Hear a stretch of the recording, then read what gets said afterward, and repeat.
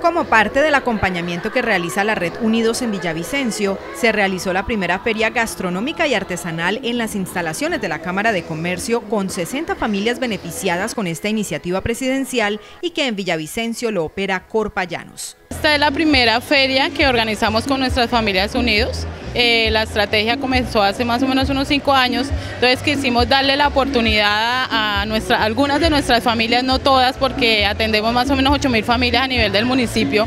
Aquí hay 60 expositores lo que quisimos fue que las familias que elaboran algún producto artesanal o algún producto gastronómico vinieran aquí y dieran su muestra, se dieran a conocer, darle la oportunidad de pues que vendieran y porque este es el, el ingreso que ellos tienen para sus familias. Algunos de los expositores dieron a conocer sus productos en la feria, para la mayoría de ellos es su sustento, ya que son desplazados por la violencia.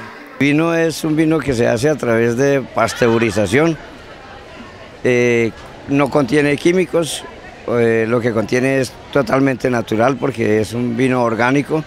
Él mismo produce su alcohol a través de la uva, que es la que produce eh, los, derivados que tiene o los componentes que tiene eh, la, la fruta. Actualmente cerca de 9.000 familias hacen parte del programa Red Unidos, quienes reciben capacitación y el operador lleva toda la oferta institucional como identificación, cisbenización, capacitación a través del SENA y otros beneficios para la población en condición de desplazamiento.